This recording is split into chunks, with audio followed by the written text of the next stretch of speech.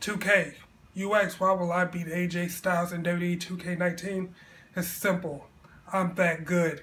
It's 2K, you made this million dollar tower challenging and very, very difficult. And I almost gave up. The key word is almost. Like AJ said, defeat should not be in my vocabulary. And I didn't give up. AJ, you are the phenomenal one and you are the WWE champion. But that's in the WWE ring.